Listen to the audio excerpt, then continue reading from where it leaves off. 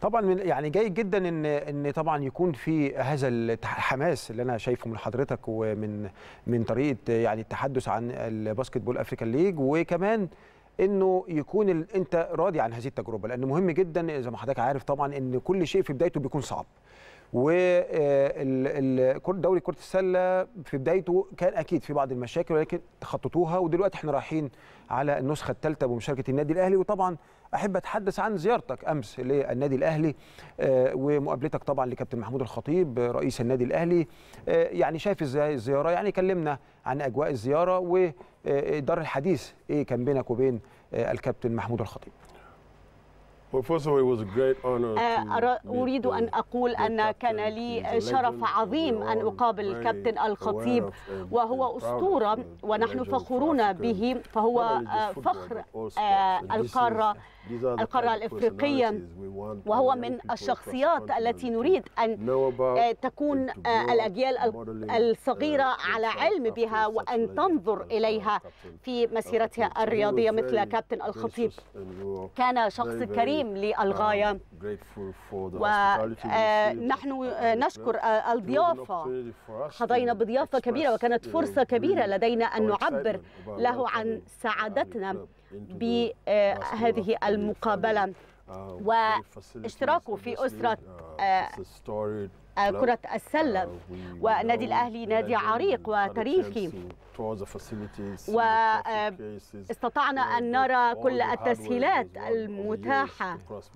وهو بالتأكيد نادي كبير لديه مسيرات هائلة في جميع الرياضات ربما.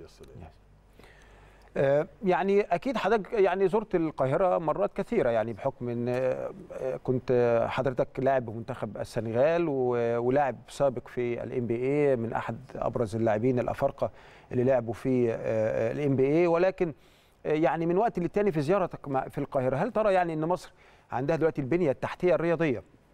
اللي تستطيع يعني تستضيف كبرى الأحداث الرياضية في سواء التنظيم المنشآت الكوادر البشرية المواهب. هل شايف في تقدم في هذا الاتجاه يؤهل مصر إن هي تستضيف المزيد من البطولات الدولية العالمية؟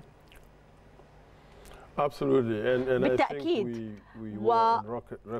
وأعتقد أن هذا ما لاحظناه. لهذا استضفنا مجموعة النيل هنا في القاهرة العام الماضي بعد مناقشات مع وزير الشباب والرياضة.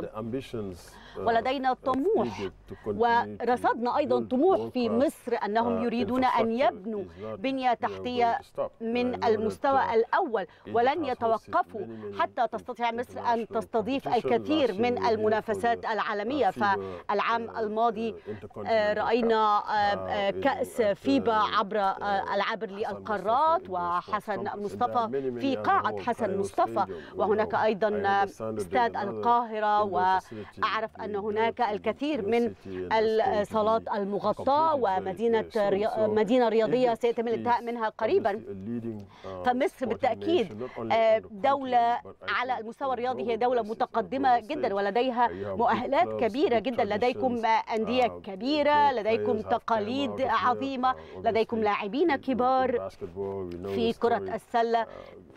نعرف الكثير من آه هذه ونعرف تاريخ آه الفريق المحلي وأيضا قابلت آه قابلت اللاعبين وقابلت مدرب كرة فريق كرة السله فمصر لديها موقع هام جدا في القارة الأفريقية فيما يتعلق بكرة السلة.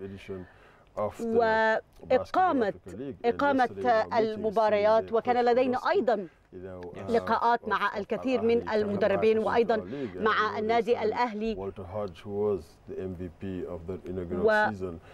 كما قلنا الموسم مواسم كرة السلة هنا وأنشطة كرة السلة ووجود مصر فيما يتعلق بأيضا المواهب.